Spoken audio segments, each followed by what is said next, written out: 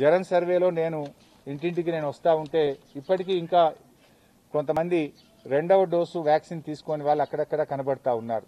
So vaccine కూడా అందరూ తీసుకోండి. సెకండ్ డోస్ హండ్రెడ్ పర్సెంట్ కావాలి. అరవై ఏళ్ళు దాటినటువంటి వారు బూస్టర్ డోస్ కూడా ఇస్తా ఉన్నాం. దాన్ని కూడా తీసుకోవాలని చెప్పి కోరుతా ఉన్నాం. పిల్లలకు కూడా పదిహేను సంవత్సరాల నుంచి పద్దెనిమిది ఏళ్ళ లోపు ఉండే పిల్లలకు కూడా వ్యాక్సిన్ వేసే ప్రక్రియ స్టార్ట్ చేసినాం. పిల్లలందరూ కూడా తప్పకుండా వ్యాక్సిన్ తీసుకోవాలని చెప్పి కోరుతా ఉన్నాం.